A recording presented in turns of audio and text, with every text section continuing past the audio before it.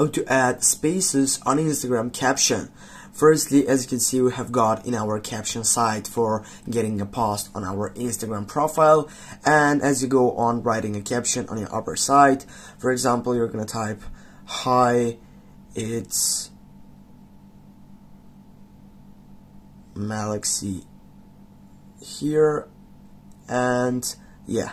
And from now on for example you want to add spaces for it. If you type right here and if you get something you, you know that you have just one space left for your site selection but also you can add spaces by getting right down on that second selection by going right here.